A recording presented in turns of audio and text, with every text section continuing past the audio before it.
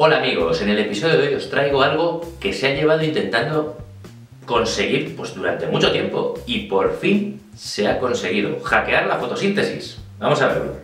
La fotosíntesis ha sido finalmente hackeada, algo que hace años parecía imposible. Los científicos de Estados Unidos han conseguido desencadenar la fotosíntesis en un material sintético, creando de esta forma energía y oxígeno en pequeños invernaderos. La fotosíntesis necesita de luz solar y CO2 para convertirlos en energía y en aire limpio.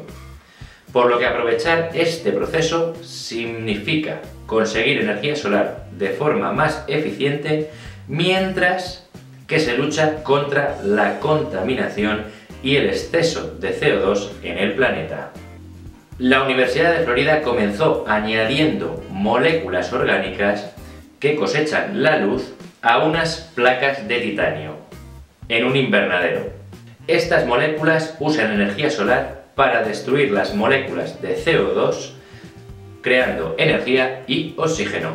Bueno chicos, ¿cómo os habéis quedado? Algo que hace años parecía imposible, que se decía que nunca lo íbamos a conseguir, que llevaban investigándolo años y años y años, yo que sé cuántos años llevan investigando esto, pero que parecía imposible conseguir la fotosíntesis que de una forma que no fuese natural, como las plantas, evidentemente, y por fin se consigue. ¿Vosotros qué opináis de esto? Dejadme en los comentarios, pero esto realmente para nuestro futuro puede significar un paso gigantesco y ya no hablar de limpiar el oxígeno, o mejor dicho, el CO2 que estamos echando pues a la atmósfera, ¿no? Todos nosotros, los humanos, por los coches, el carbón, petróleo, etcétera, ya lo sabéis. Y esto puede solucionar muchas cosas, ¿eh? Me parece espectacular. Bueno, espero que os haya parecido interesante y nos vemos en el próximo episodio. Hasta luego.